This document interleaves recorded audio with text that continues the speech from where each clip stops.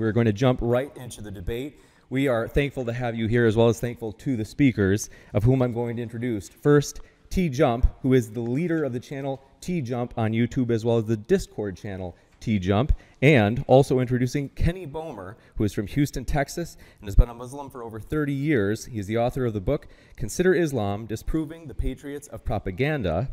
The second edition was just released on Amazon and the number one release in both genres of comparative religions and religious studies. All right. Thank you. Thank you.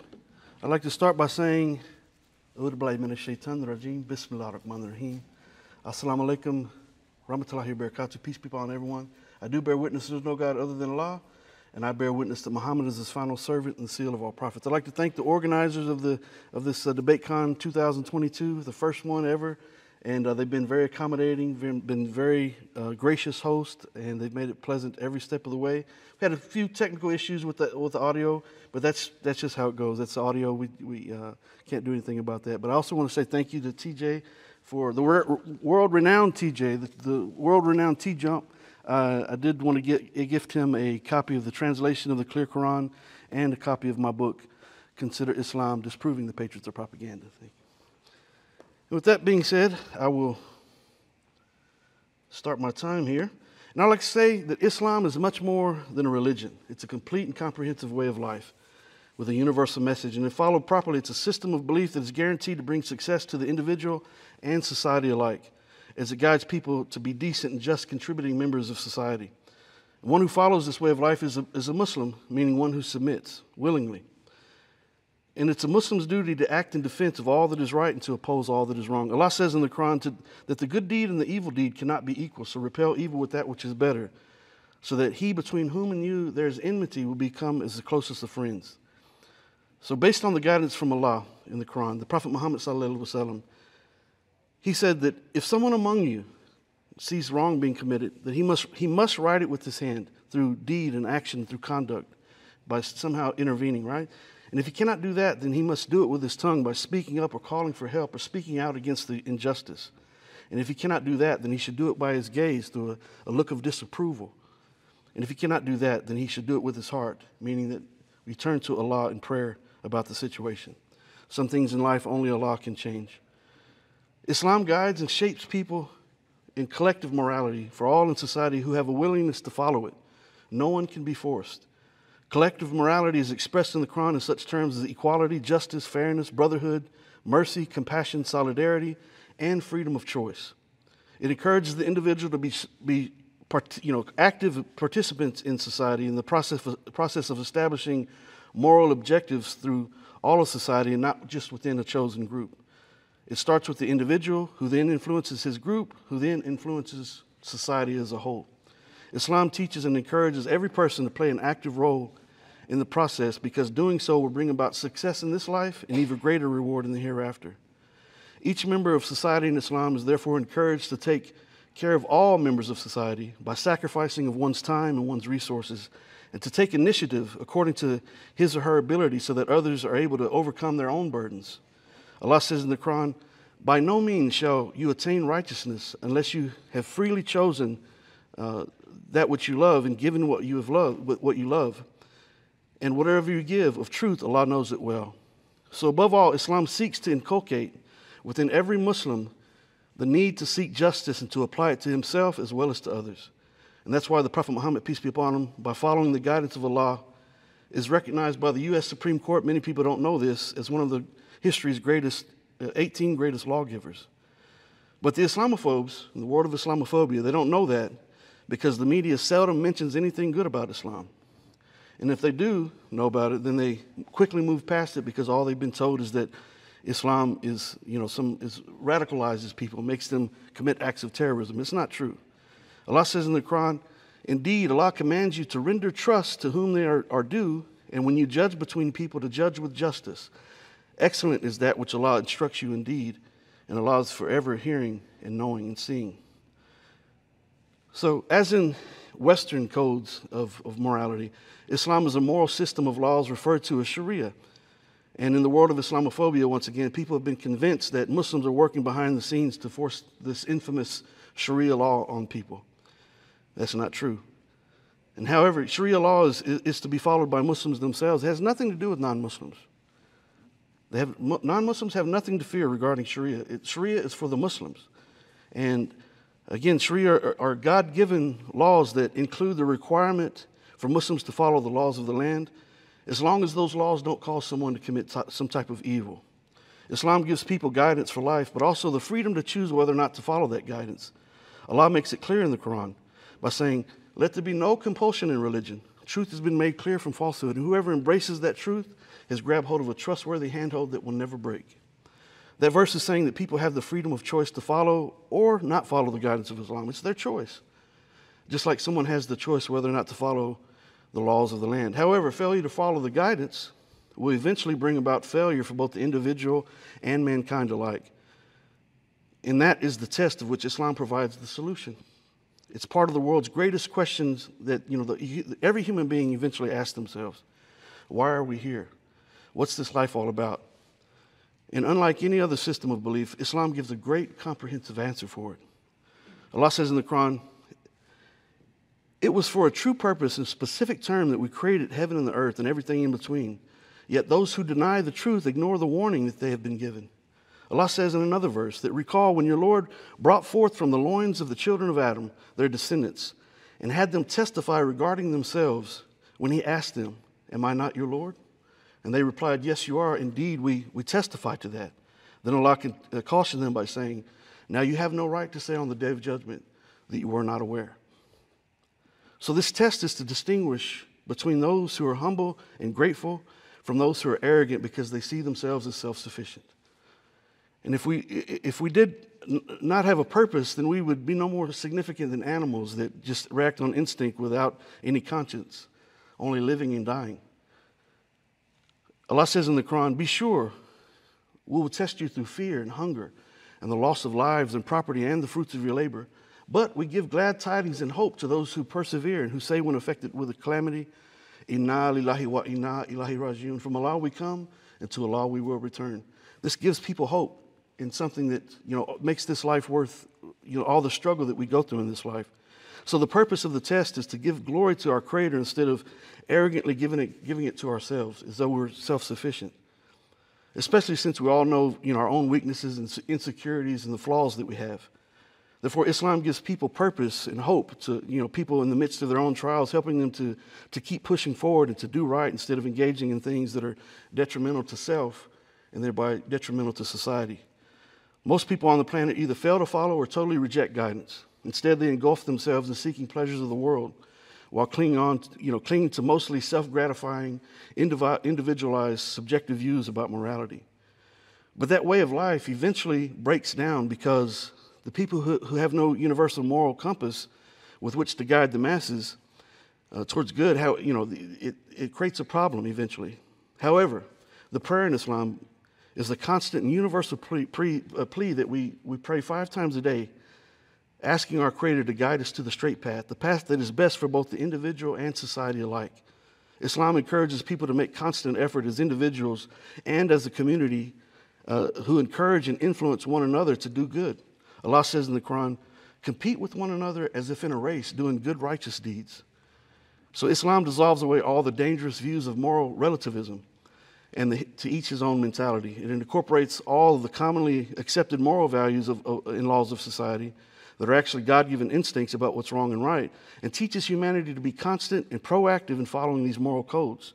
Islam widens the scope even further by helping society to be constant, eh, you know, constantly mindful of our domestic associations, civic conduct, our activities in political, economic, legal, educational, private, and social realms. It covers life in the home and in society abroad from the dining room table to the battlefield, from the cradle to the grave.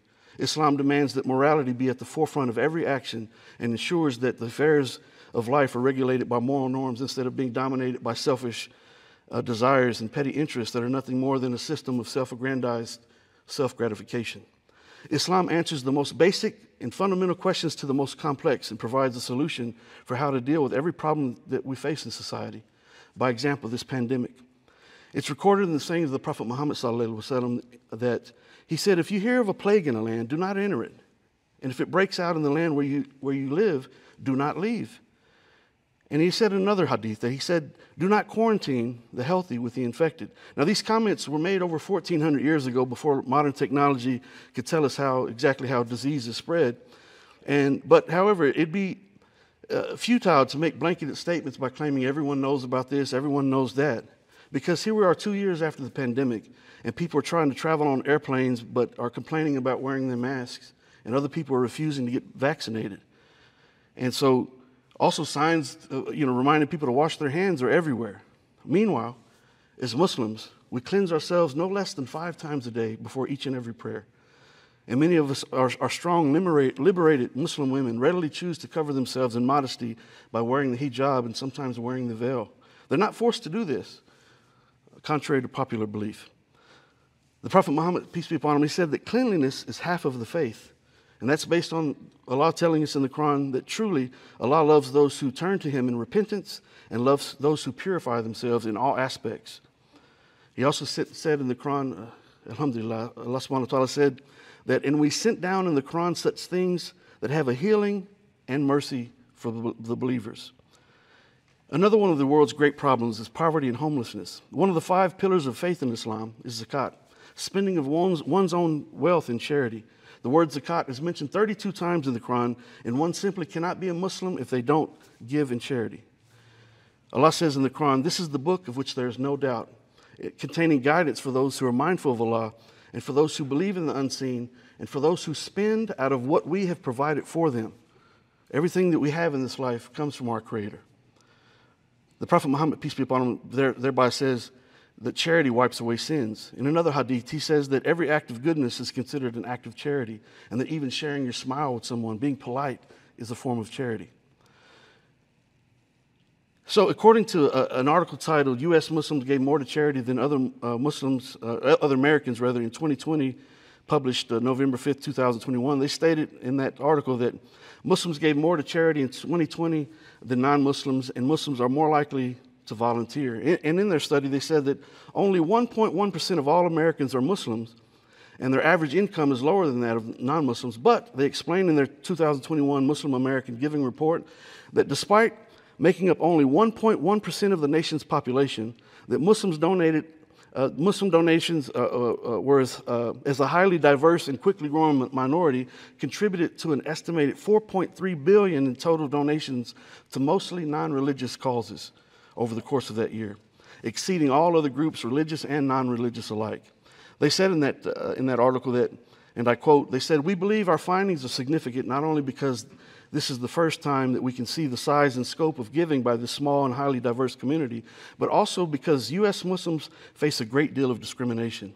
Another poll in the, in the UK, they, they said that, uh, that Muslims gave more to charity ahead of Christians, Jews, and atheists.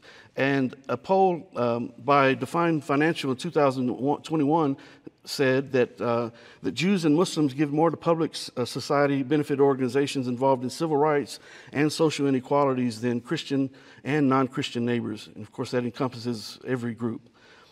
Another problem in the world is that the world has faced is war. Nearly 32 years ago, J.H. Hanson, in his book Militant Islam, said, and I quote, the image of Muslim armies con- converting people as they advanced has sank so deeply into the Western mind that no amount of repetition of the truth is likely to dis- dislodge it. So, contrary to Islamophobic belief, Islam never, was never spread through war, but instead it spread because of the wars waged against Islam. And we're still seeing that happen today. Islam is still the fastest growing religion in every country in the world, with most reverts being women. Islam demands that Muslims only fight in defense of self and, and, and others in society, everyone, standing up against all injustice. And if war is necessary, which sometimes it is, that it must be conducted justly and only uh, uh um, until aggression from the, enemy, from the enemy stops or from the other side stops. After the Reformation, uh, secular versions of the, the just war theory were prominent, and just war is con- contrasted with holy war. And because of the Christian Crusades, uh, they were considered by many Christians to be holy wars. It's often assumed that jihad is the Islamic equivalent, however, that's anything but the truth. Based on Allah's guidance in the Quran, the Prophet Muhammad, peace be upon him, developed eight rules of engagement in Islam, which state that killing non combatants is not allowed. I'm going to repeat killing non combatants is not allowed.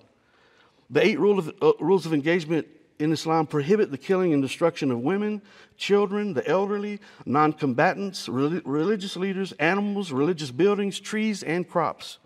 All the rules of war are based on verses of the Quran in which Allah says, by example, Fight in the cause of Allah against those who first fight you and run, run them out of places that they have first run you out of.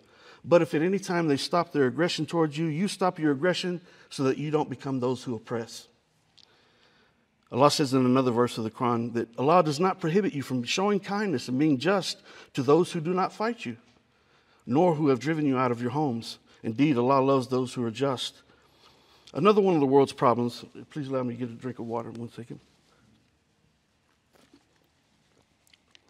Excuse me, alhamdulillah.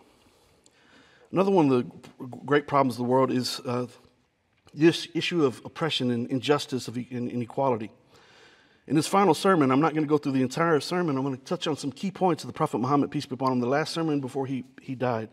Sallallahu Alaihi Wasallam. He says, O people, it is, it is true that you have certain rights over in regards to your women, but they also have certain rights over you.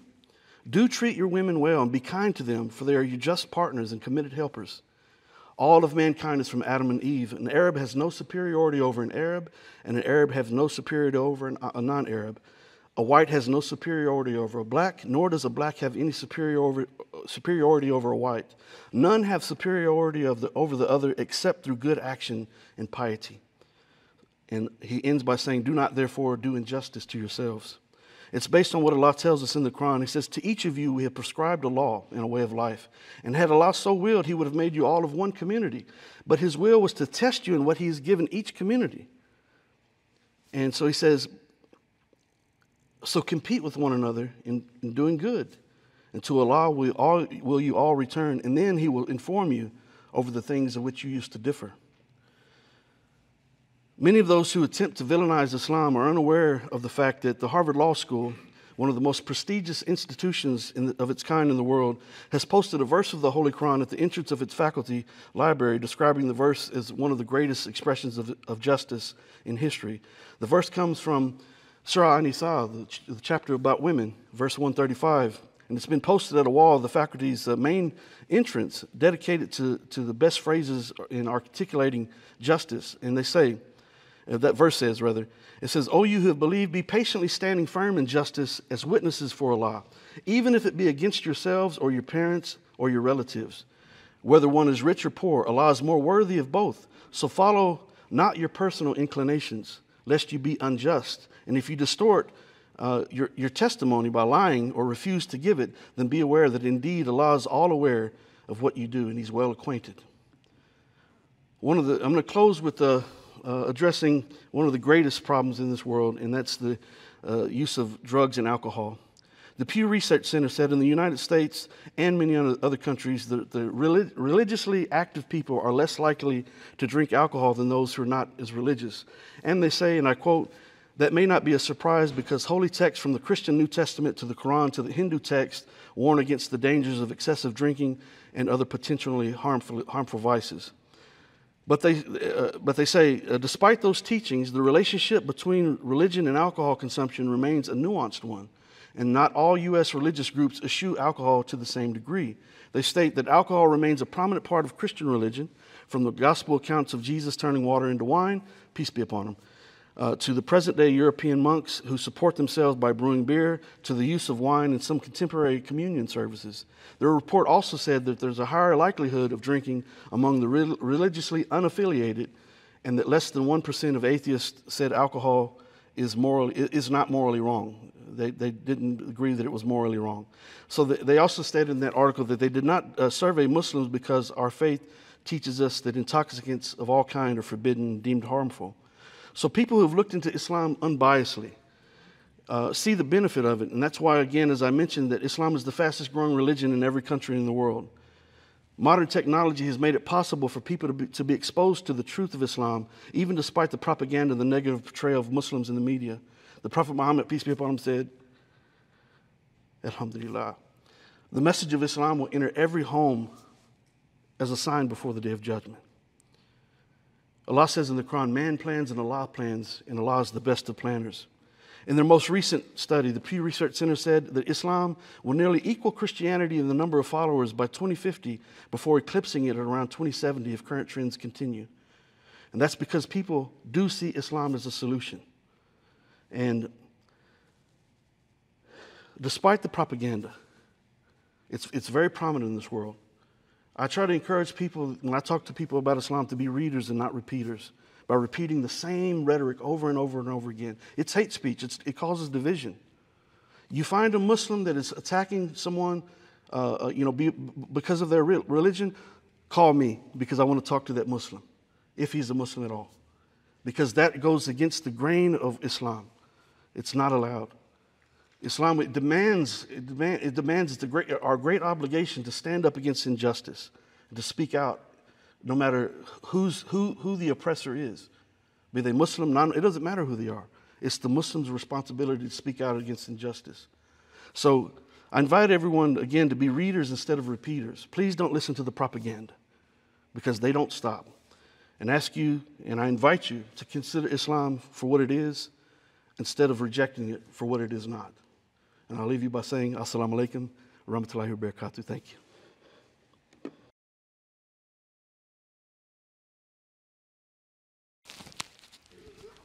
Thank you so very much, Kenny, for your opening statement. And we are now going to hand it up to T Jump for his up to 20 minute opening statement. T Jump, the floor is all yours.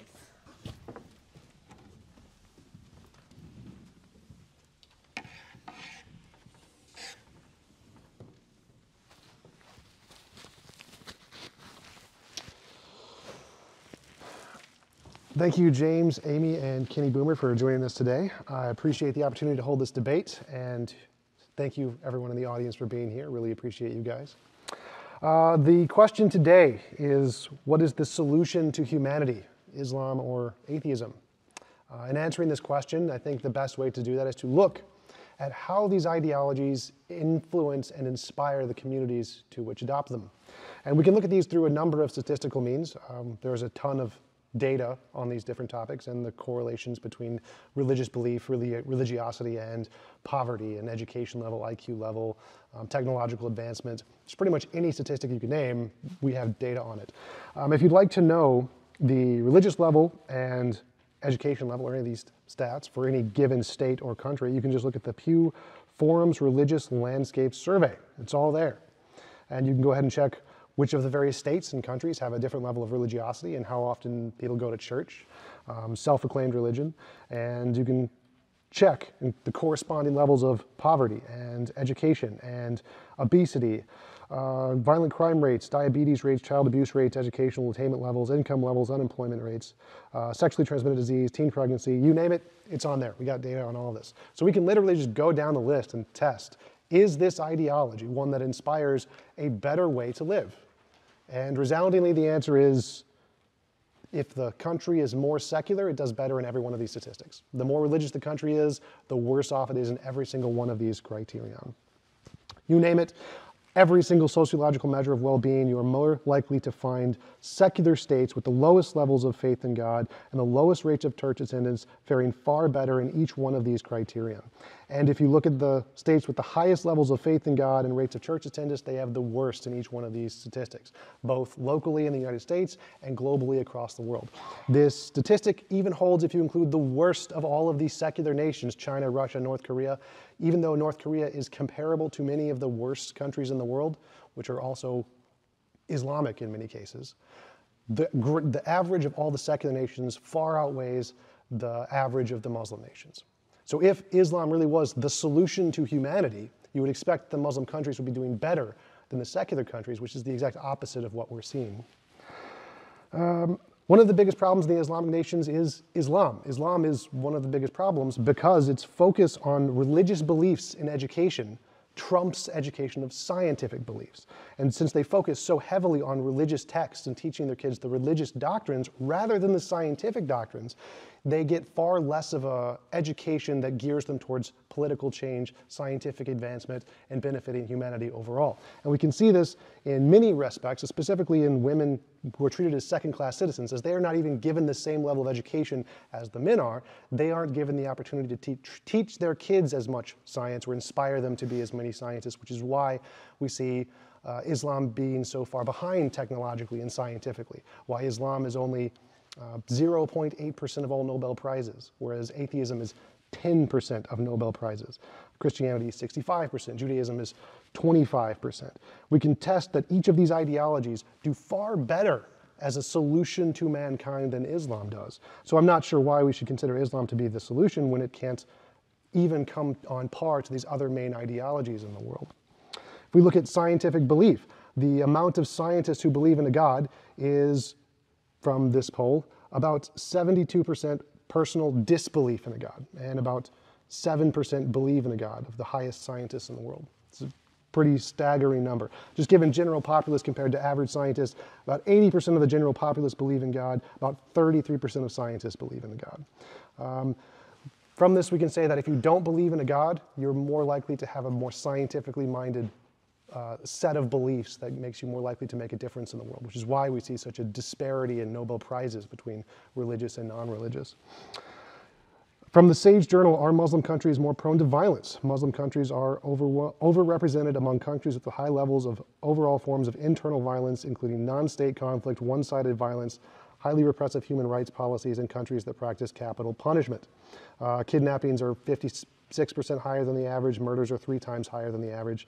If we look at human rights and rule of law in all countries, um, 2021, 80% of the worst countries are Muslim countries.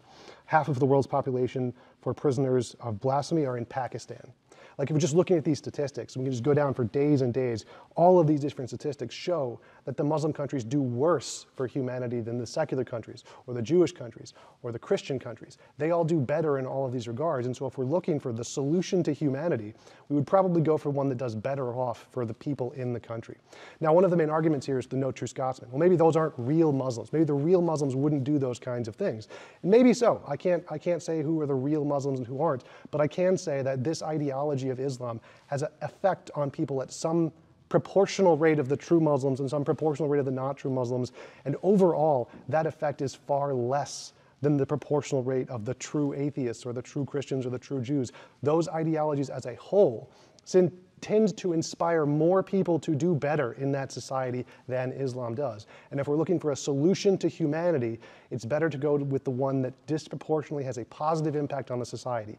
Even if Kenny is right and Islam is the true perfect thing, that if the very small percent of people who really followed it live perfect lives, because it's such a small percent of the society, it doesn't have a significant enough of an impact on a whole society to be considered a really the best solution. The best solution is one that affects the most people and provides the best quality of life for the most people, not just the few minority who might actually choose to follow it.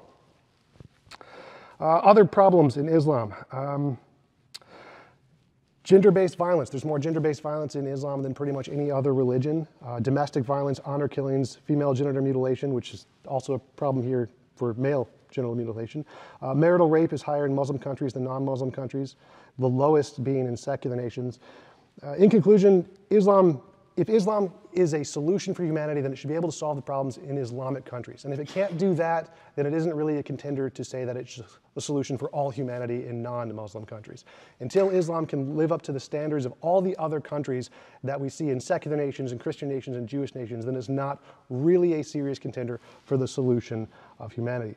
And I will conclude there. Thank you so much, Tom, for your opening statement. And with that, we're going to hand it right back over to Kenny for his up to eight minute rebuttal. The floor is all yours.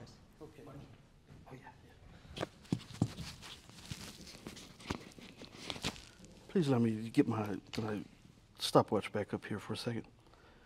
And thank you for that, uh, TJ. All right.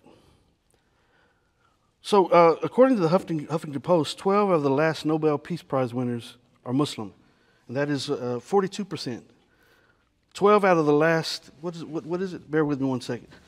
Yeah, 12, yeah, 12, just 12 of the last, according to Huffington, Huffington Post, 12 of the last Nobel Peace Prize winners were Muslims. And in regards to, you know, we're not, we're not talking about, uh, um, we're, we're looking for solutions to these problems. So we're not here to discuss the failures of humanity. We're not here to discuss failures of people.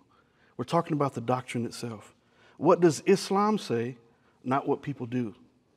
Okay, so if, if he did make a, uh, in regards to saying who the true Muslims are, the true Muslims are referred to as the mu'min, the true believers. Allah says in the Quran, in al muslimina al muslimati wal mu'minina al mu'minati, meaning the Muslim men, the Muslim women, the believing men and the believing women, making a clear distinction between the true believers. Remember, the men are the true believers. And making a clear distinction between those who call themselves Muslim, maybe they're born into Muslim families and so forth, or they're Muslim by, by name and they, you know, they may associate with the, the community, but they don't live according to what Islam teaches. So we're not here to discuss the failures of mankind. We're here to discuss what does the, the, the, religion, what does the, the doctrine teach. And during the course of, of TJ's opening, uh, I appreciate all of it, but I didn't hear anything that, is, that atheism provided as a solution. So again, we're here to discuss what does the creed itself bring as, as, as guidance. A moral guidance to all people. It starts with the individual and then goes on to other people. Yes, there's Muslim countries in the world that have problems, but guess what? We have a lot of problems here in the United States. As a matter of fact, I have statistics here. I can bring them up in regards to the, the uh, let me go ahead and grab it real quick because the, the, the drug and alcohol use, by example, here in the United States is so prominent. I mean, it's, it's something that, uh, that people are just, you know, consuming things that are so detrimental to, to them that they, uh, it's, it's a huge problem. And it opens the doors to, to other problems, other issues. So bear, bear with me one second as I go to this figure here, because it's quite disturbing. And uh, so, again, in regards to women, now, the verse that I just mentioned, and there's many verses similar to this in Al Muslimina, Al Muslimati, Al Mu'minina, Al Mu'minati.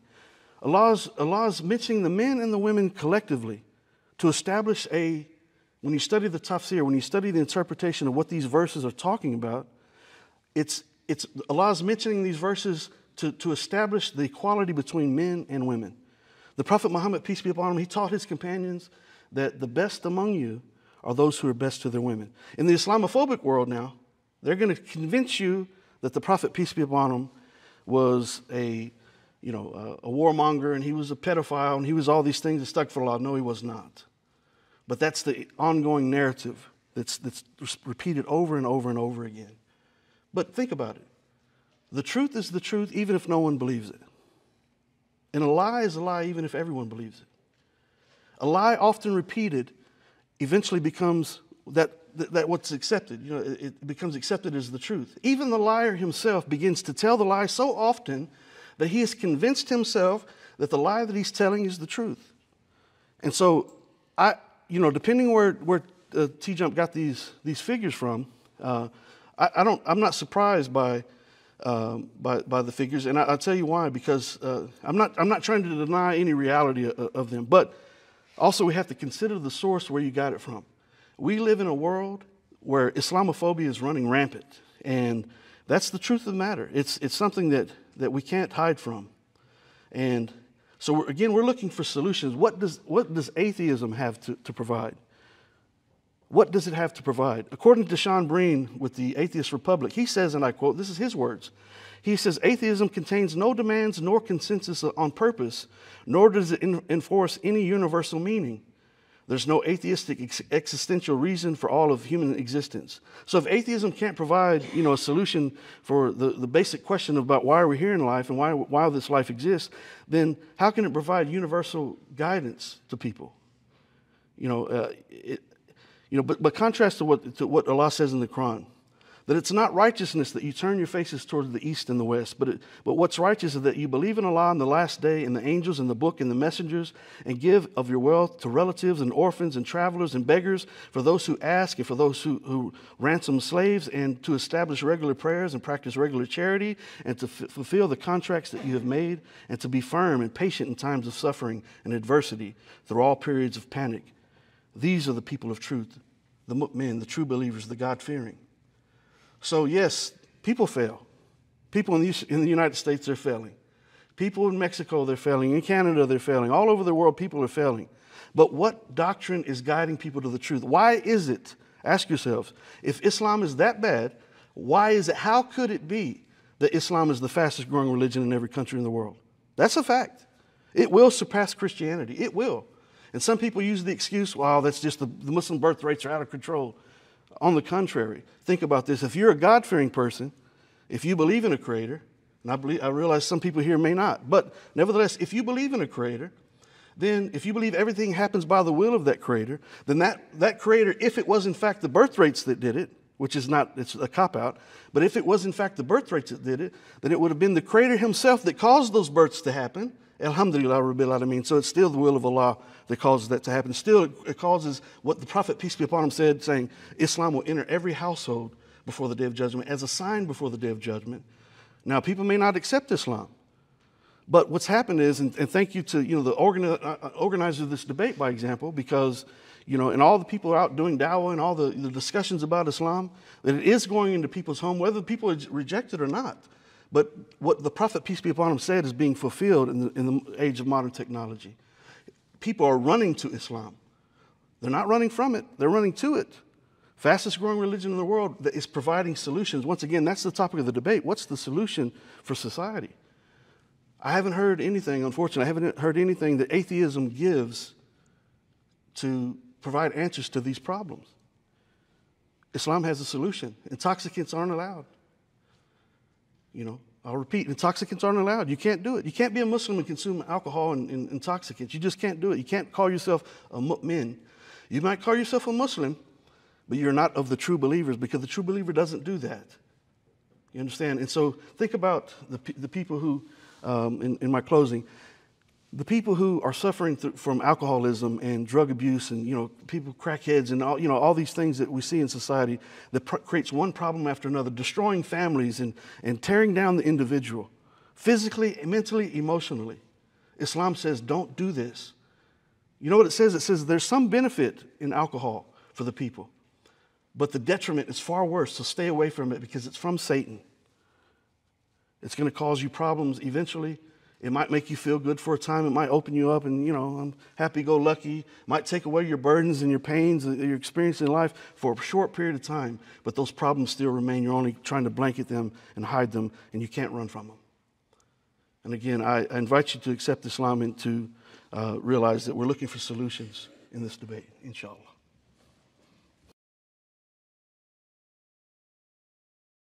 So very much, Kenny. And with that, we're handing it right back to T Jump for his eight minute rebuttal. Piece of paper I could? Thanks. Thank you, Mr.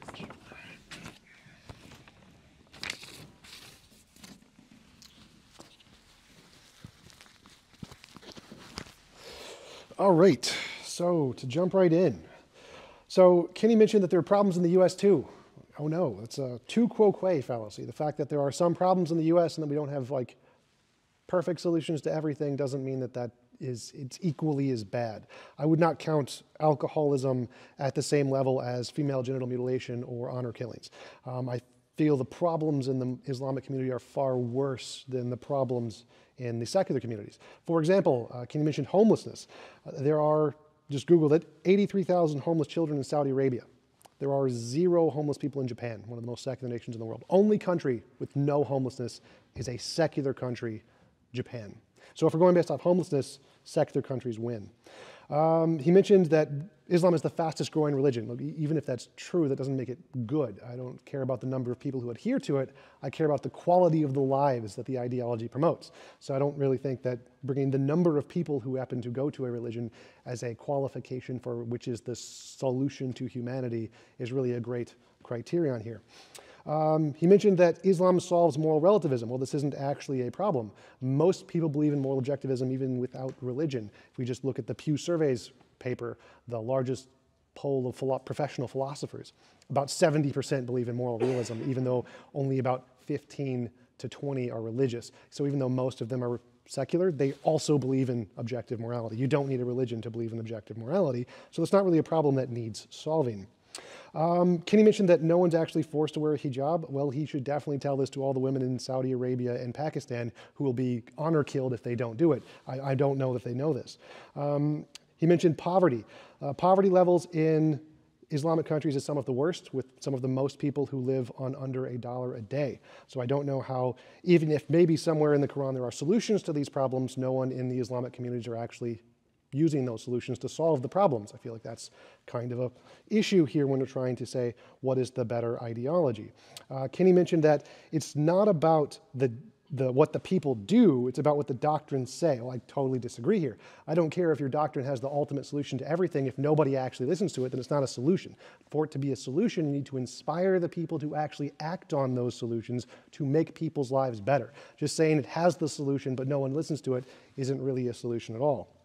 Um, he mentioned the Nobel Peace Prizes. Yes, most Nobel Peace Prizes are um, taken by Muslims because most of the wars and conflicts are in Muslim countries. That, that makes perfect sense. That isn't, an, that isn't evidence for his case, that's evidence against it.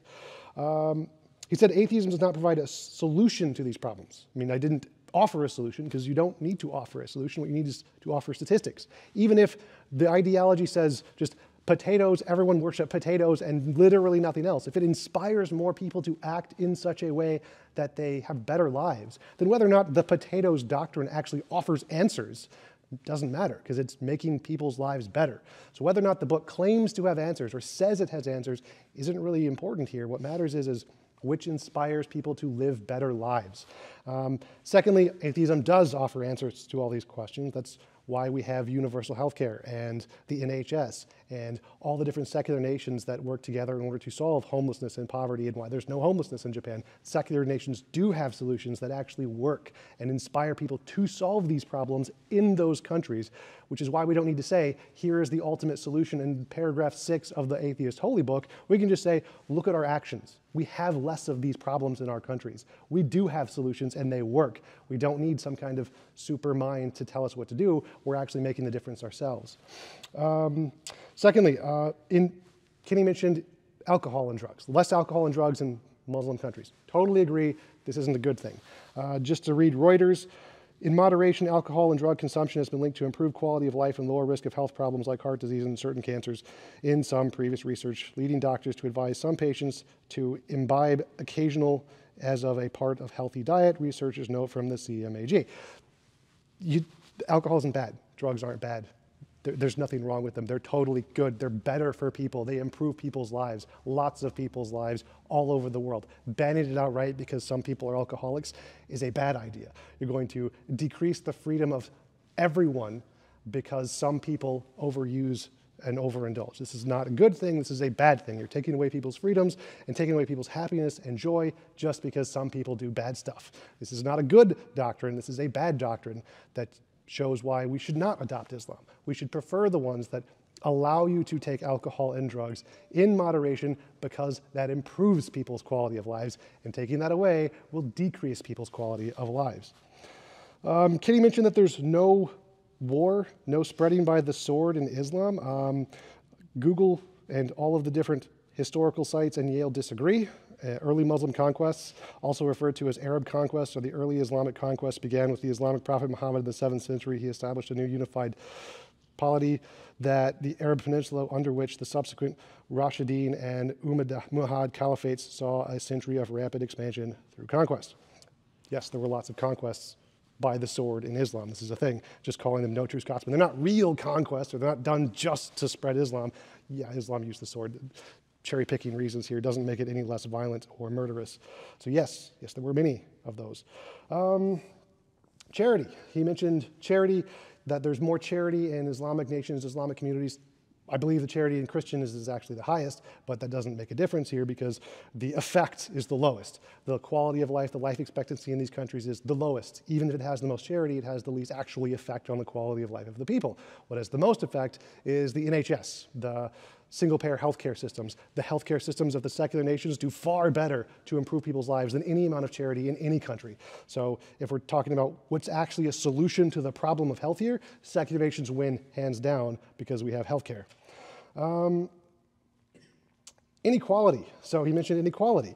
Inequality is some of the biggest in Islamic countries. Just look at Saudi Arabia, where you have billionaires and billionaires and then homeless people, 83,000 homeless children on the streets. Inequality is some of the worst in the Muslim nations. Of course, America is worse. Granted, you got me on that one.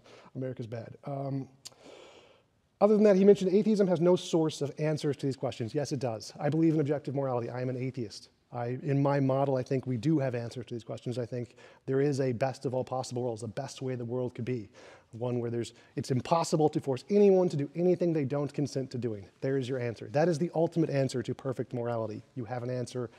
Atheism does provide an answer. Um, I believe that's all I have for now, and I will conclude there.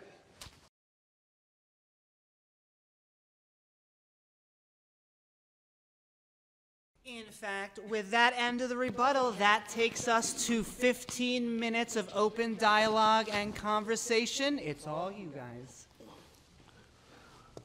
Okay, so I appreciate that, TJ. And um, uh, but in the course of this, I, I did hear you say uh, towards the end there, you tried to imply that atheism has an answer for these issues, but the, you also said that drugs aren't bad and that uh, you know you, that people should be allowed to use. Once again, in my opening statement, I, I stated that.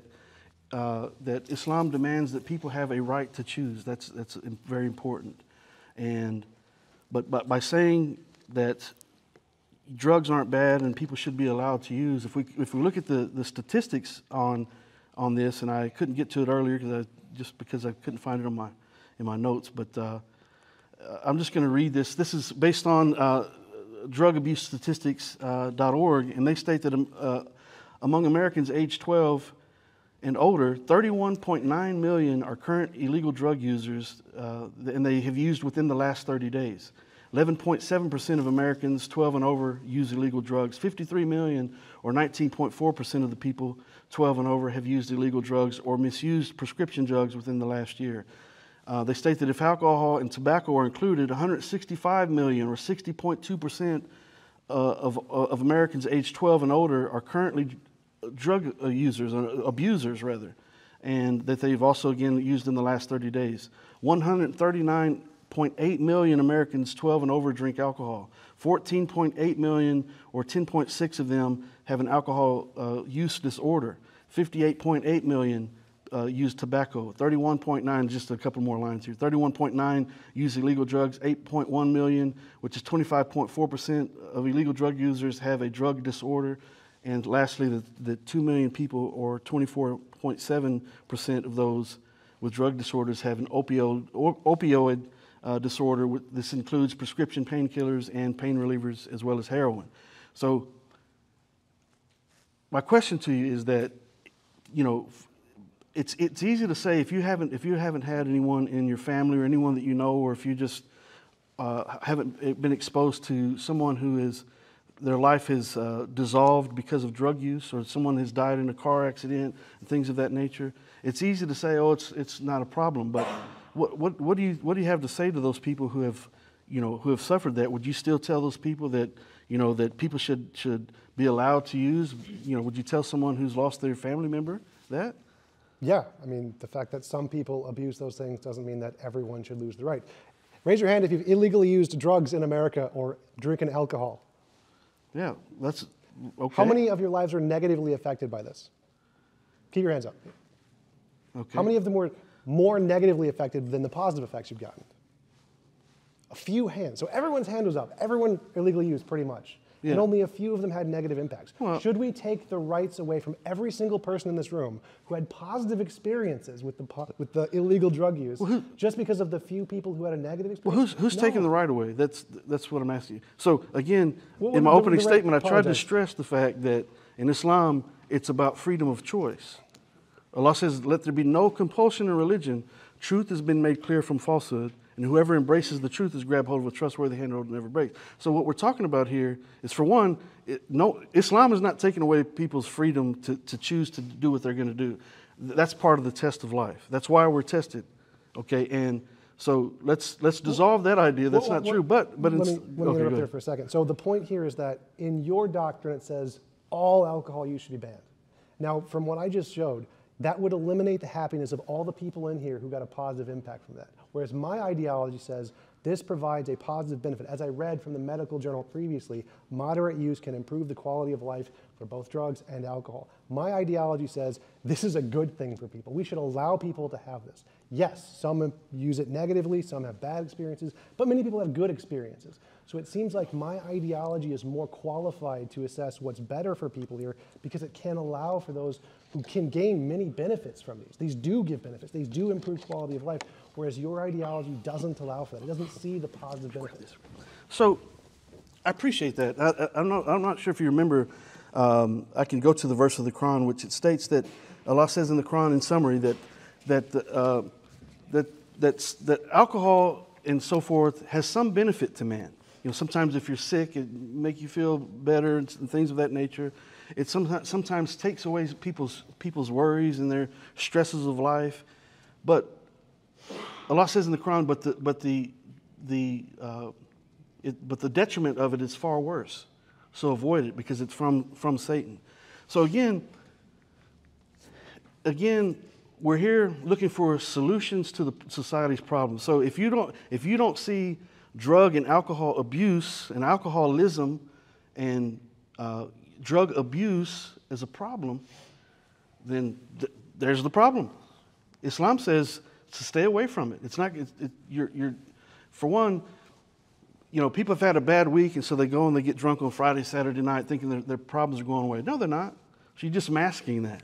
So again, you know, uh, where's the solution to the overriding problem? Uh, Is, is, it, uh, it okay to go to the people at the drug centers that are, are trying to get off drugs and alcohol, whose lives have been turned upside down because of their misuse, and say, oh, no, it's not a problem, go ahead and do it again? Of course not. Of course not. As, if we're, if we're going to look at things objectively uh, and be true to ourselves, we should be telling those people, look, uh, yeah, it's been bad for you. Don't, you know, you probably need to stay away from it. Well, the thing is, you open the door a little bit, and you know it has the potential for opening full bore, and there's the problem. So, which is the better solution? To say, "Oh, it's okay, everyone use use the alcohol," or to say, "You're tested by whether or not you choose to not consume it or not." The Muslims, the, you can be assured there's Muslims somewhere that are consuming, right? There's, there's, they've got to be somewhere, but they're not following the doctrine, and and you know, so again, it's not like Islam is, is placing a, a, a stamp and saying, you know, you, it's going to be our way or the highway. No, that's not true. It's, it's let there be no compulsion in religion. That's why we're tested. That's the beauty of it. So again, in summary, I'm talking too much, but, but in summary, what would you tell the people at, at these, you know, trying to get off of the, the drugs or alcohol or whatever that has destroyed their lives or their families? What would you tell them? Would you tell them, go ahead and keep doing it? Or you tell them, you know, to stay away from it? No, no, I would tell them to stay away from it because they're misusing it, but I'd tell the people who positively gain impacts from it in life that they can keep doing it. Give me an example of the positive, in, the positive impacts that it has. I mean, give me, what do you mean? Weed reduces stress and allows people to become better, healthier people. It reduces pain. Alcohol does the same thing. It can be relaxing. Many people have a glass of wine, which helps them take the edge off and improves their quality of life, helping them to work and function more. It can reduce the damage of heart disease. There are tons of these things. Like, as I just read from the medical journal, it is proven for a fact that moderate consumption of alcohol and drugs can benefit people's quality of life. This is a fact. And the fact that my ideology can recognize this scientific fact about the world and Islam, Islam is objectively wrong about this scientific fact shows that my ideology is more qualified to assess the solution to humanity. So I acknowledge, yes, there are people who with alcohol and drug problems, and we should give them the ability to like go to treatment centers so they can be cured of those problems. But we should not take away the rights of everyone else who does not have those problems, which is the majority of people who do not have those problems take away their freedoms to be able to use these things responsibly and take away their right to improve their own quality of life responsibly. It's, it's like the fact that many people drive badly and get into crashes. Does that mean we should take away everyone's right to drive? Obviously not. The fact that some people have a problem does not mean we should restrict the rights or just have a blanket statement that all alcohol is bad. It's not. We know for a fact it's not all bad. The positives for many people do outweigh the negatives because they don't misuse it. It's only the people who misuse it who shouldn't have it, not everyone. Well, so uh, I think you was chasing the straw man a bit when you, you mentioned about the scientific facts. I haven't mentioned any scientific facts regarding Islam and what it states about alcoholism or drug intoxicants and so forth. I haven't said anything about that. Oh, I apologize. You said um, the, it says in Islam that the, out, the negatives outweigh the positives or something Well, like no, I was saying the verse of the Quran say, yes, that the, that the, the, the problems that it causes are worse, so stay away from it. And that's the thing So- was saying is scientifically provably false. Okay, well, so that's that's not necessarily true. I, I- don't know where you're getting those st- statistics from, but let's but let's look at this uh, uh, collectively and and not from the, the point of a view of someone who, um, again, has not had any type of family disruption or loss of life due to these problems. You know, p- uh, people getting divorced because they cheated while they were drunk or they shot someone while they're drunk. I mean, these, these, are, these are serious problems because it opens the door to other issues within life, within the community. So again, if do- we're going to talk about what the, majority? solution is, think- but, but what's think- the solution? What, would what would be a better solution to eliminate it completely? To say, you know what, well, for, for all of humanity, for all of humanity, it would be better if we just stay away from that stuff. Because what happens when someone become, starts drinking, you know, using drugs and using alcohol, that their, their mind is altered. And this is one of the reasons why Allah says, don't come to the prayer in a state of intoxication, because you don't know, you- you're not really, your mind is not in the right place. That's the reason it was actually in three steps. Uh, uh, Islam was, was eventually eliminated. And, uh, but again, it's a, it's, it's a person's choice. That verse within itself is telling someone that you have the choice whether or not you're going to follow the guidance and do what's, what's better for yourself and for, for society, for the community, or if you're going to choose to do something that your mind is in the wrong place because you know you, you went and had a little wine, you go to get behind the wheel, and next thing you know, you're, you, you think you're doing fine, you feel, you feel fantastic, but your, your mind has been altered. Well, it it seems you're making the same argument that I've already addressed. Like the fact that a minority of people have problems does not mean we should ban the majority who don't. The majority of people who drink do not have alcohol problems. The majority of people who smoke weed are not addicted to weed. In fact, it's pretty hard to get addicted to weed. Very, very hard.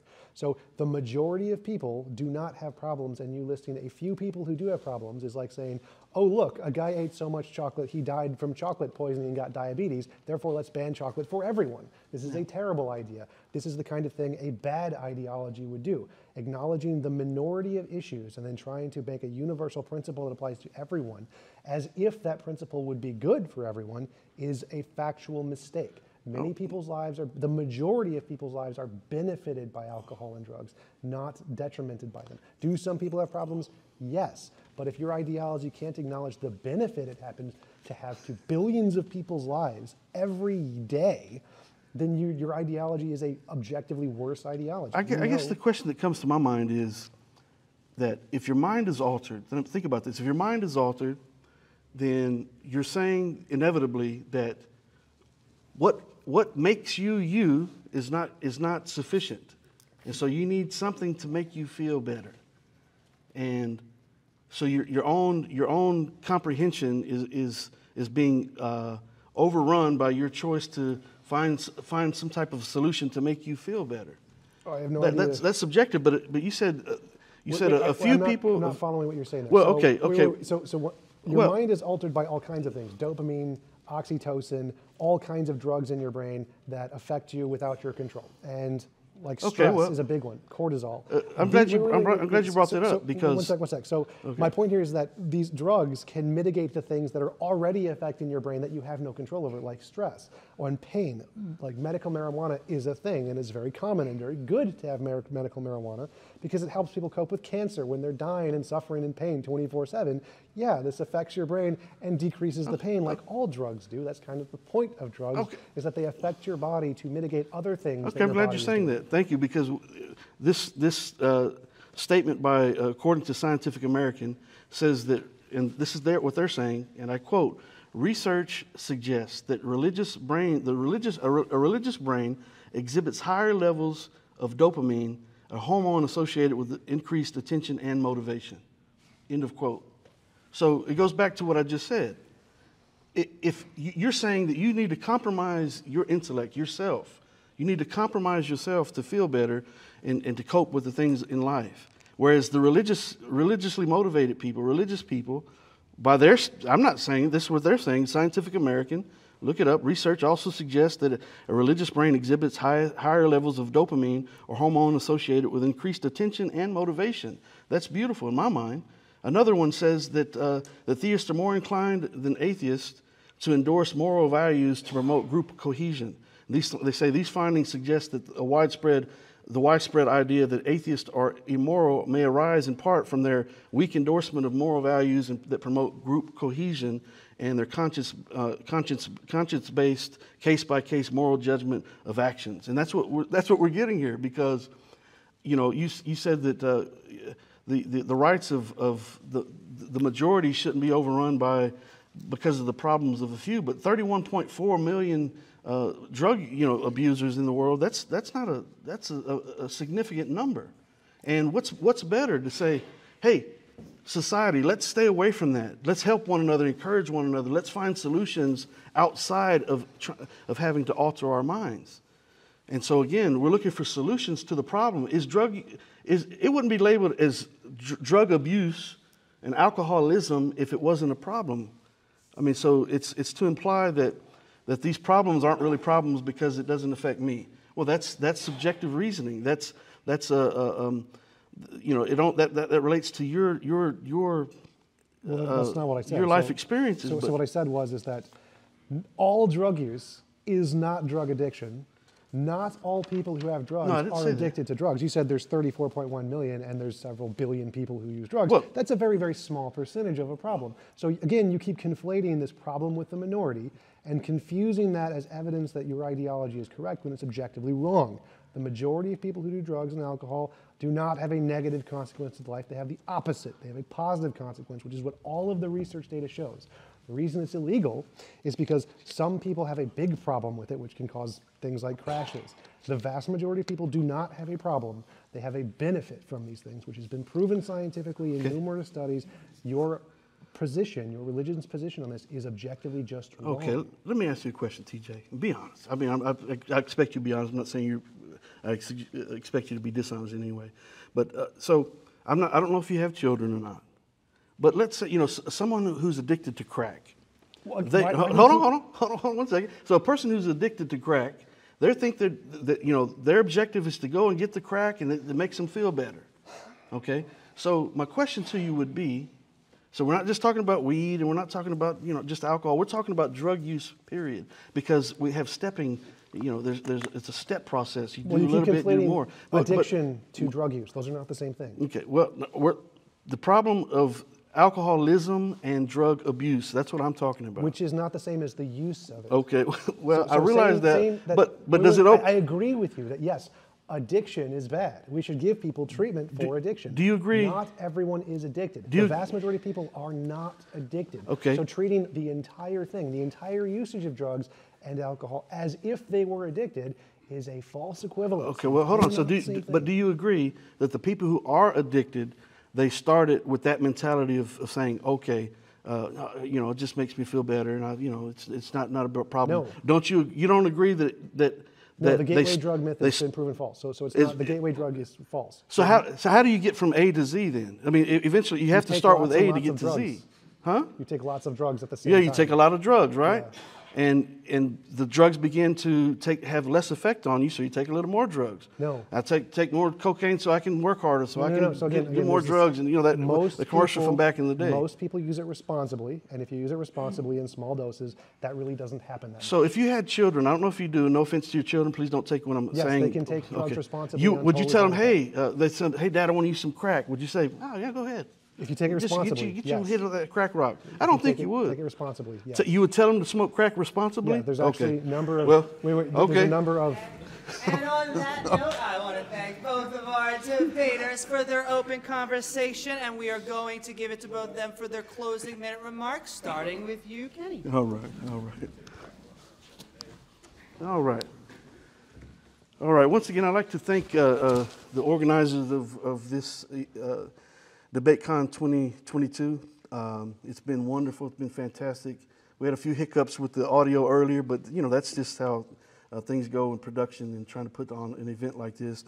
The organizers have been fantastic, and uh, uh, they've been very, very, uh, very gracious hosts, to say the least. And I look forward to having more of these events in the future, inshallah, God willing. I also want to thank TJ. Uh, I've watched a number of his debates online. Um, he is very well um, experienced uh, debater, and so it was uh, enjoying. I enjoyed very much uh, having this discussion. During the course of the discussion, you know, the, the topic of the debate was which is the solution for society, atheism or Islam? And I tried to establish, and uh, you know, regardless of the failures of mankind, people fail. People aren't perfect. They're going to they're going to do what they they're going to do. But what does the doctrine teach? What would what would be better? And um, I try to demonstrate in, you know, just starting with the why, why does life exist? Why are we here? Try to establish Islam has the solution and the answer for why we're actually tested. Why are we going through these things? You know, why do we have to deal with, you know, loss of life and property and, you know, why, is, why do these hurricanes happen, these pandemics? What is this all about? It's all to draw our attention to the one who created us. Allah ask a question in the Quran, making, causing people to think and to ponder and reflect, asking does man not consider from that which he was created and what he's going to eventually return? But we pat ourselves on the back and we see ourselves as self sufficient, that like we're going to make it through this life with no problems. But in the, in the process of it, people are turning to drugs and alcohol and they're turning to sex and they're turning to you know, whatever else the world provides. Allah says in the Quran that this life is nothing more than play and amusement. So fear Allah, fear your Creator, be mindful of your Creator and think, did you create yourself? Of course not. But I, I discussed the pandemic and the fact that people might say, oh, it's not a big deal. You're washing your hands and your face and cleaning your, you know, yourself before prayer five times a day. But look, we have signs everywhere saying, wash your hands. Adults being, need to be reminded to wash their hands. And, you know, this, it's a problem. Islam automatically, we have, to, we have to cleanse ourselves before each and every prayer. We do this five times daily. There's the solution. Our Muslim women, you know, in some, in some, some Muslim countries, it's part of their culture that they, they, they dress in modesty. But let, let's make it clear the Muslim woman is not forced by the doctrine itself. That's culturalism. The doctrine doesn't say that they have to cover their face and they have to, you know, it says to tell your women to cover their adornments, their body parts, to live, you know, cover themselves in modesty. But it's their choice. Not all Muslim women do that. And so, again, it's their choice. It's a freedom of choice. Islam is not trying to impose anything on you. You're tested by that which you have been guided by. You can accept it or you can reject it, just like the laws of the land, as I tried to mention in the opening statement. You can choose to follow the laws of the land or not. It's up to you, man. But what's going to happen as, as a, uh, um, if you don't? There's going to be consequences for it.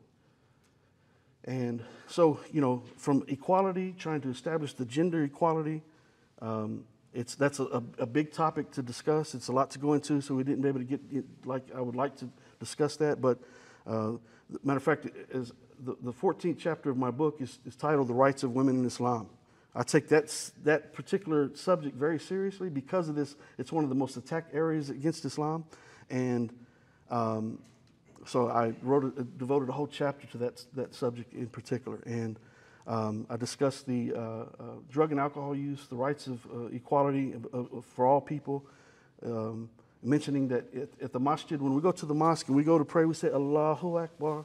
We might have someone from whatever country on this side, from the, the, the place is full. Every masjid that you go to, every house of prayer is filled with people from all, all nations. And when we see one another, we're, we're, we're brothers in faith. I, I forgot to start my time, but I'll just, I'll just close by saying uh, that Islam is the solution. And I encourage you to, um, you know, to, to seek knowledge about Islam from Islamic sources. Uh, you know, go to the Muslims themselves. Go to the Muslims in your community, the, the, the local mosque or the masjid, and talk to the Muslims. Contact me. Uh, whatever question you have, I don't mind asking, you know, answering it. And, uh, and try to stay away from receiving information about Islam from non Islamic sources. Uh, so I encourage you to be readers instead of repeaters and to accept once again Islam for what it is instead of rejecting it for what it is not. So I'll leave you by saying, Assalamu alaikum. Peace be upon you all. Thank you very, very much. Thank you so very much, Kenny. And now we're going to hand it over to T Jump for his up to four minute closing statement. All right, so the topic tonight was what would what is the solution to humanity? I made the argument that the solution to humanity is the one that produced the best outcome for living, the best life standards, the best education standards, the best wealth standards, the most food, the most of everything that we measure in quality of life. And Kenny made the argument that alcohol is bad. Um, I don't really see this as a serious argument. I don't really care about alcohol usage. If you do it responsibly, that's a good thing. It improves quality of life. It doesn't diminish it. And so I don't think the fact that people, that a small minority of people have problems with alcohol and drugs outweighs the fact that there are honor killings and people, and Sharia law has people having been stoned to death and having their arms cut off and being imprisoned for not believing in the faith. I don't think the small amount of people with alcohol and drug problems even comes close to the negative impacts on society as all the different policies in Sharia law have is in Islamic countries. So if we're asking what is the solution to humanity, um, we should go with the one that improves education, has the highest IQ, by the way. Atheists have a six point higher IQ than religious people on average, um, has the highest education level. Highest education level actually goes to Jews, and then Christians, atheists are third, then Buddhists, and then Islam, and Hindus are like the half as much as any of the other ones. So I'm going with the ones that have the best impact on society. I think that is the best solution to humanity, which is not Islam, and I will yield my case.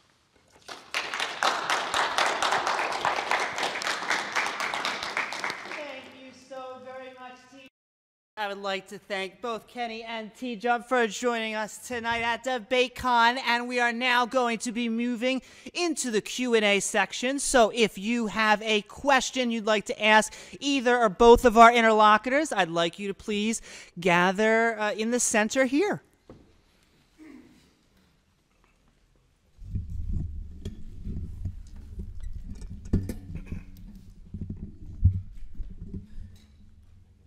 If you want to step up and then you can speak right into the side of the mic.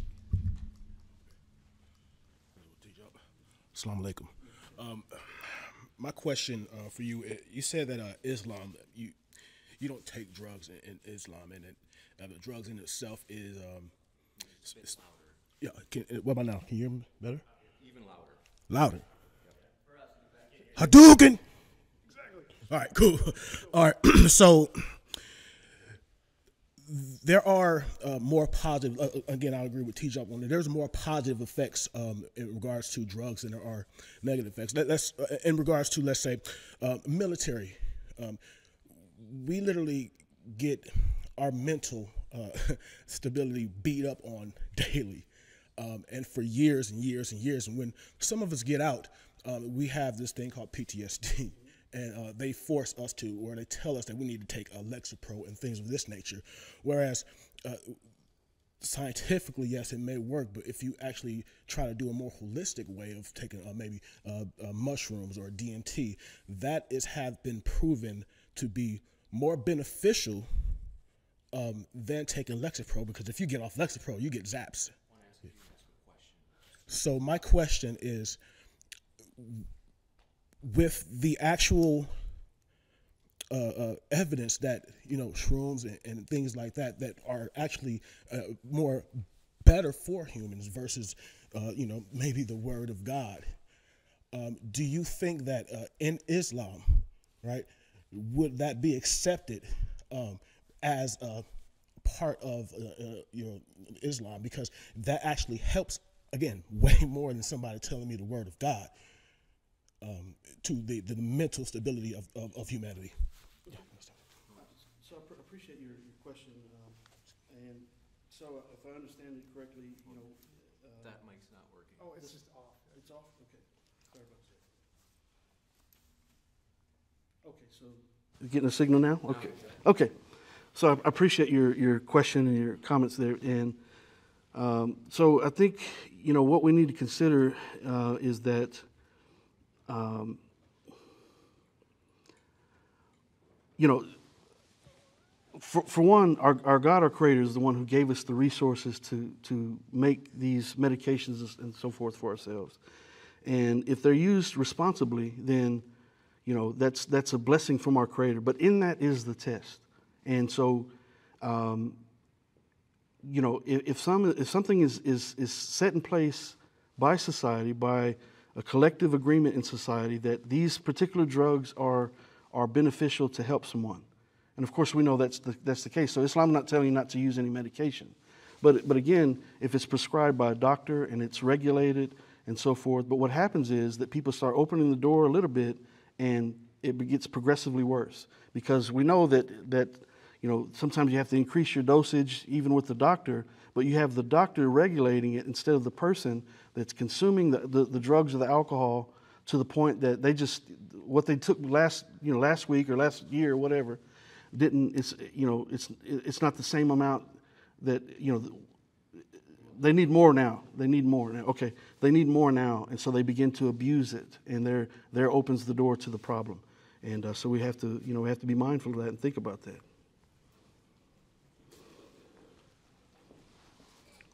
So this is for T Jump. Um, in the 20th century, for the first time in history, we had widespread atheistic regimes that were responsible for 109 million deaths globally. Um, if atheism is the solution, then why does it seem that it was the greatest historical problem that we ever had um, in the 20th century? Uh, it wasn't atheism. Like if we, if that Doesn't- was isn't that special pleading? Like you said, that's not Islam. no, because the vast majority, Karl Marx is the vast majority of atheists don't do that. They don't avow that. They don't adhere to that. Whereas in Islam, exactly what he said. No, the vast majority of the majority of Muslims actually do support Sharia law in countries, whereas the vast majority of atheists totally condemn Hitler. Those were political ideologies. Atheism did not in any way adhere for any of those things. There's no tenets of atheism that actually support those things. Whereas there, in Islam, there are specific tenets that, interpreted by the vast majority of Muslims, whether Kenny calls them true Muslims or not, they interpret these statements that are literally said by the holy book to do these things. Whereas there's nothing in atheism that supports that, and the, pretty much every atheist country in the world disavows Hitler and Mao and Pol Pot, other than like China and Russia. Th- those are the only exceptions. So pretty much every atheist country today disavows those things and does everything in the exact opposite way. So that would be ridiculous to equate that to atheism, specifically because there's no holy book in atheism that says advocates for any of that in any possible interpretation, as opposed to Islam, which literally has the words that can be interpreted to say those things. Okay, I will ask a quick question before I. Me too. Just because we have so many questions, I want to be sure Right, that everybody wanna- gets at least one in Okay, go to the this- second question. Three seconds. Uh, I hate to do this, but Okay, just because all right, it's fine. Absolutely. Yeah, so I have a question for Kenny. Uh, you had said that uh, the abuses of people's rights, said, such as things like women not being able, allowed to drive or having the, the forcing the full, you know, niqab face covering, those have nothing to do with Islam. A bit closer to the mic. Uh, s- so, okay. So, so my question to you is: It seems to me that in countries like Iran and Saudi Arabia, it's religious scholars and religious clerics who know the Islamic sources very well uh, that support and enforce these laws. So, my question to you would be: If it seems like there are all of these scholars that support these oppressive things, how can you say that that isn't real Islam or Yeah. true Islam? Yeah, so, so uh, thank you, thank you for that question, and that, that's the typical uh, questions that come up uh, on this subject, and we have to realize that- that culturalism is is has tainted the religion in some aspects, and that um, again, um, you know, if you look at the statistics, you know, 30,000 since 9/11, by example, 30,000 new reverts to Islam each and every year. It's actually increasing, and maybe even higher than, than that by now. But but most of those being women, and so the women who are reverting to Islam, they're they're studying in Islam. They're and that you can be assured they're they're, they're concerned about, am I going to have to cover myself? What's what what am I going to have to do? Do I even want to do that? And they come to realize that when you study this properly, that you you you don't have to. Now you're highly encouraged, but in that is the test for the woman, right? And so in those those countries, those societies, you know that's part of their culture. That's that's the expected norm, uh, and you know we shouldn't judge our standards based on what they do in, in their country. That's their country making those those laws and those rules, and uh, again, that's not Islam itself saying to do that. Now they base what they're saying, you know, they they kind of go overboard with it in in, in a sense in that. But Allah says in the Quran just that: do not do not go to extremes in your religion. Do not do things that outside of the outside of the, the rules here the, or what the guidance. And so sometimes the culturalism does, uh, you know, uh, kind of domineer uh, in some in some societies, some situations. But what they're trying to do is they're trying to eliminate the the um, in those instances they're trying to eliminate uh, you know divorce rates and adultery and sex you know sex outside of marriage and children being born you know with only one parent and so forth. And so uh, you know it again it's it's not relig- the religion itself that's telling them to making them do this. It is their choice, and that is the test. Um, You'll see Muslim women in summary. You'll see Muslim women um, often that they're Muslim women, but they, they don't they don't cover themselves. They carry themselves modestly, but they don't necessarily have the hijab on. Hello, this uh, question's for T Jump. Um, as an atheist myself, I'm curious to know how you derived objective morality from atheism. Uh, thank you. So I derive objective morality by looking at the evidence. So in philosophy, the evidence of morality comes to us from moral intuitions and moral progress. Uh, if we look at the pattern of the way morality has changed over time, it seems to be a very clear, consistent pattern from women's rights to LGBT rights to voters' rights to workers' rights, animals' rights. It seems that as the scope of our intellect and our and our resources improves, that the scope of morality also seems to increase with that. And if we plot this out on a graph, it seems like morality is following a very specific pattern. So, uh, in the same way that Newton discovered um, gravity, it was called his his model. He, he used this term hypothesis non fingo. So he didn't actually say what gravity was. He had no idea. All he did was he said, "Here is this very clear pattern that we see. Here is a principle that we can use to describe it, which is his mathematical principles." And I'm just doing the same thing with morality, like most moral philosophers. We see a pattern in morality, and we make principles to describe it, and then try to infer what it could be from that. Which I think it's more something like an undiscovered law of nature or something like that. Um, but there are many hypotheses, like it's a higher order emergent property, a platonic object, a priori abstract. There's lots of different various models of what morality could be. It's just we don't know. Hypothesis non fingo. All we know is there's this very clear pattern that we see. I guess why should we objectively value that progress? Or maybe I shouldn't. Sorry. I gotta stop. Thank you. Hi, thank you very much for your kind words. I really like your kindness and the way you express yourself. Thank, thank I really you. like it. So I have a question that's a little bit personal for you, but it, oh. for me in the way it also. You said in, in your opening statement that Islam tells you to be good. In the closing statement, you said that you have to follow Islam. But you have to follow Islam, uh, sorry, but you have to follow Muhammad's example. From what I've heard, he killed and tortured people, owned and traded slaves, pillaged, had sex slaves, slept with underage girls. He did everything that we would say in this time that a bad, a bad person will do. And from that one, he was a normal warlord of his time. And I see no change in him, in, in goodness on him, that I, I, he would made, I would make him a model of my life. So my question for you is, why do you, uh, why do you choose him as a model of your life? Okay. Because you do not seems to be like him. You're, you're much, much more kinder person than he seems sure. to be. Uh, Alhamdulillah. Thank you for, thank you for the, the, uh, the question. And um, by no means uh, do I think that I'm anywhere close to the character of the Prophet Muhammad sallallahu uh, peace be upon him, because uh, Allah subhanahu wa ta'ala himself, our God, our creator himself, said that he sent him as a mercy to all of mankind. He is the best example of, of what a human should be. I encourage you to watch my debate uh, later this evening with David Wood on the topic of the marriage that you mentioned uh, to Aisha radiallahu anha. Um, so Malcolm X, there's a quote by Malcolm X that I mentioned in my book that he says that the media is the most powerful entity on earth. They have the power to make the innocent guilty and to make the guilty innocent, and that's power because they control the minds of the masses. Another quote by Malcolm X says that if you're not careful, the newspapers will have you hating the people that are being oppressed and loving the people that are doing the oppressing. And so the common narrative in, uh, in the world of Islamophobia uh, is that you know, it's all, it's all negative images about Muslims. And by attacking the credibility of the Prophet himself, they're inevitably attacking all Muslims. And, um, and so, you know, I would encourage you, uh, I'm sure that, you know, when, when I said earlier, and I've said it a couple of times today, to be readers instead of repeaters, because I, when I hear you say this, no offense to you, but these things that you're mentioning, these are the same common things that we hear all the time because the propaganda used against Islam is so prominent. That's why I wrote that book back there. And it's so prominent in, in closing, it's so prominent that people begin to believe it while they, they're just, they're, because they've heard it so often. And you just begin to believe it. So my, I encourage you to seek knowledge from true Muslims and to get your, your knowledge from Muslims. And you'll study, if you study the life of the, the Prophet in closing, and the uh, uh, unbiased historians and, and, scholars that have studied his life, you'll see that their narrative is totally different than the one from the Islamophobe side. And, okay? Thank you. Questions for Kenny? Sure.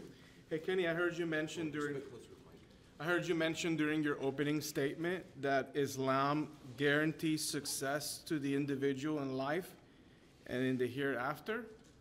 Would you please define for me uh, success and how can you substantiate such claim? Okay, great. I'm that's a great question. So the call to prayer itself, when when the, the, Adhan is called, you know, the, what's being said is, is that God is great, God is great, Allah is great, and Allah is the greatest. To come to prayer, come to prayer, come to your success, come to your success. Because what you find is that, you know, the the continuous return to prayer five times a day. I'm not, I don't know if you believe in a creator or not, but the continuous return to prayer gives us the opportunity to seek forgiveness for the things that we've done wrong in this world. It gives us the opportunity to thank our God, our creator, for blessings that he's bestowed upon us. It gives us opportunity to say, God, help me. You know, I don't know what to do about this. In my personal prayer, I always say, every prayer, oh, Allah you're my comfort, my peace, my protector. I can't make it without you. Because I've tried. I've tried to live my life, and you know, uh, yeah, I've had success in this. I used to be in the music business, signed a couple of record deals and so forth. But, you know, I realized that inevitably, all that's all that's for naught. When I've devoted my time and my, life to my Creator, and eh, you know, and that continuous return, it makes me more conscious about everything I say and I do.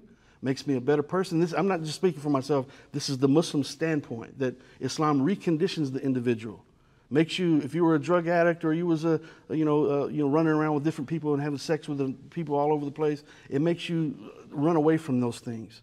It reconditions you and remolds you and reshapes you. And uh, it's all established by the prayer. Allah says in the quran in summary to seek help through patience and prayer. The continuous return the continuous return. Come to success come to success.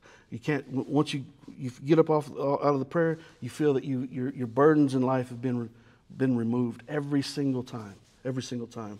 So I'll leave it at that. Thank you. Thank you. Okay. Uh, yeah.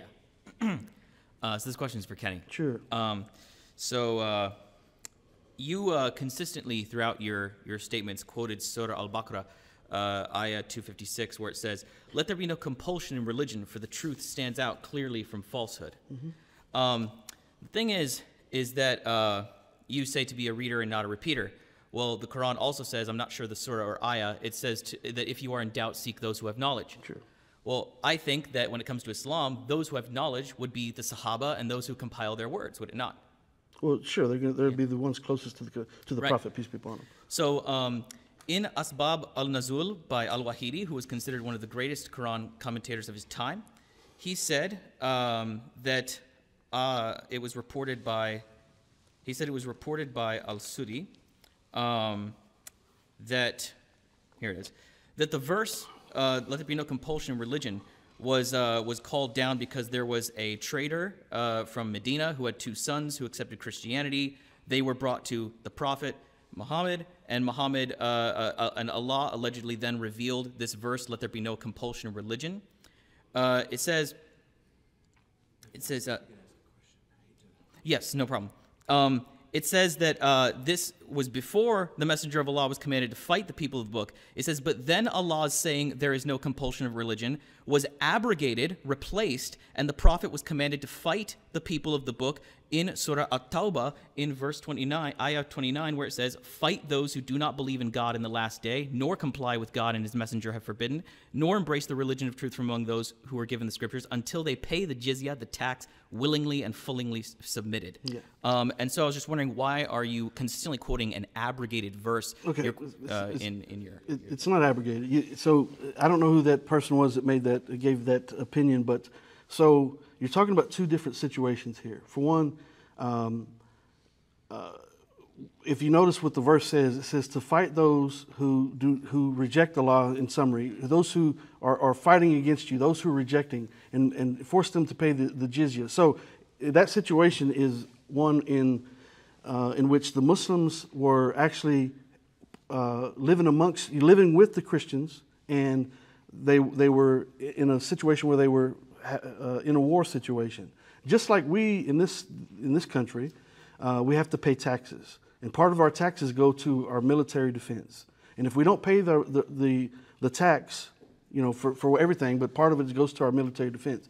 So if we don't pay the tax, then we are, uh, um, we, we have brought a, a um, you know, it's detrimental to ourselves. You, you, you've brought a shame against yourself because you had the ability to either go and, and join the fight to defend the, the nation, or you have chosen not to fight and you just you, you don't you just want to be a, you don't want to be a part of it but that same nation is is taking care of you. So in that situation that you mentioned that other verse the muslims were actually uh, in control at that time and when they took over mecca when they returned after there after the after the hijrah they had to leave to medina when they come back they come back 10,000 strong they didn't kill anyone all the people who were previously torturing them and doing all kind of wrong to them they didn't harm a soul and now they're, now they're in control, and the Christians are living among them. Some of the Christians had to pay uh, the, the jizya, the, meaning, meaning the tax. It's nothing more than the tax that we would pay here in the United States. It's similar to that. And, you know, so if you don't want to pay it, then it's, it's putting, a, putting, a, putting pressure on them to say, hey, are you at least going to help us? If you're a man, and you're to defend, you're part of this community, are you willing to come and fight? If you're not willing to fight, are you willing to at least spend of your resources so that we can arm our defenses? Because we're inevitably we're defending you as well. So, okay. So, I'm, I'm sorry if I, you know, so that's there's two, two, two different things going on there. So. This question's for Kenny. Sure. Um, uh, TJump brought up an article or a website saying that uh, the statistics show that it's better in secular locations like crime and uh, poverty. Uh, I just want to know, asking you personally, uh, what do you think the agenda of these of the guys who wrote these articles? Was? Because you talk about Islamophobia. Do you believe the men who made these articles, speaking of Christianity, had an agenda? And if they had an agenda, what do you believe it was? Well, so we know that the, that Islamophobia is real, and it's it's uh, something that um, that we have to consider whenever we hear something about any source from any source. We need to to be uh, um, wise enough to say, well, let me check into that. You you shouldn't just believe anything you say. You, you hear someone say. Uh, you should go and check the source, uh, see who you know what if you can to the best of your ability, find out what these people are are all about. And uh, so I don't know what sources he, he was using. I don't think he mentioned, but um, but the, the fact of the matter is this Islamophobia is prominent. It is real, and uh, there's a we discussed Hitler today. Let me let me just mention a quote by Hitler. I mentioned in the book as well, and it says the purpose of propaganda is not to provide interesting distraction for blasé young gentlemen, but to convince the masses. But the masses are slow moving, and they always require a certain time before they are ready to even notice a thing. And only after the simplest ideas are repeated thousands of times will the masses finally remember them, right? And another quote by one of his henchmen, the uh, Paul Joseph Goebbels, the chancellor of, of, Nazi Germany, he says the propaganda works best when the people being manipulated are confident that they're acting on their own free will. And so, in summary, these tactics that that are used, they're well studied. Um, we hear these little sound bites, 10 second sound bites over and over again. Radical Islam, Sharia, Sharia law, you know, women are oppressed. We see over and over and over again, people begin to believe those things. Um, it's far from the truth. I encourage you to uh, gift you a book, a matter of fact, for free if you like. Um, and that's, that's what I'm addressing in the entire book, disproving the patriots of propaganda. Um, and uh, yeah, so Thank yeah, you. we can't so, believe everything that we hear.